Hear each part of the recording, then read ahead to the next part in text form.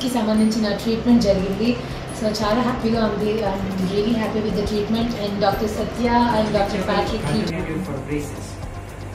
These are clear, transparent braces which you can wear and I remove. could not get a real solution for this. When I came to Dr. Abhiruchi in Bharta Dental, she took as a Uh, Dr. Chitra has treated me. I have undergone for uh, three root canals over this uh, this side and two root up I was so scared, I never wanted to meet a dentist. But when I came to Partha finally, they treated me so well. Mr.